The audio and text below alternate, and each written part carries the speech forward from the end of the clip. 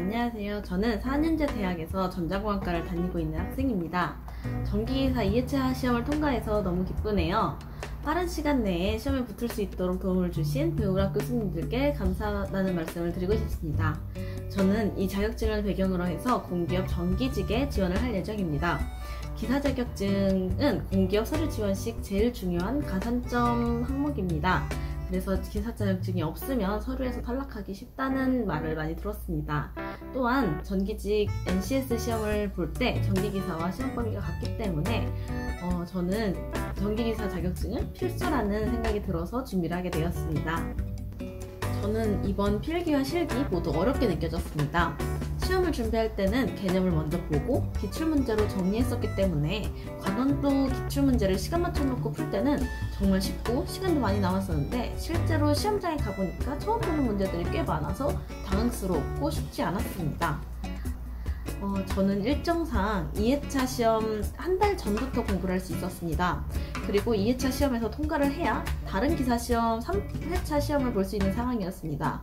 이런 상황이었기 때문에 짧은 시간이었지만 정말 집중해서 공부를 할 수 있었는데 그래서 합격을 할 수 있었던 것 같습니다.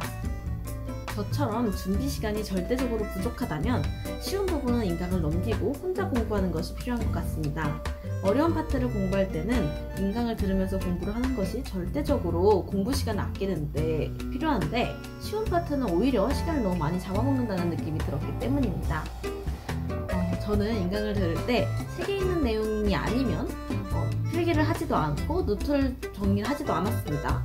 굳이 책이 있는데 제가 쓸 이유는 없다고 생각이 들었습니다.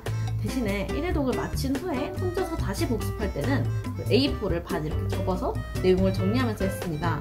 그리고 세 번째 볼 때는 제가 정리했던 것에 밑줄을 그으면서 다시 보면서 암기를 하는 식으로 공부를 했습니다. 저는 이론을 설명해 주시고 바로바로 바로 관련 문제를 풀어주시는 것이 가장 좋았습니다.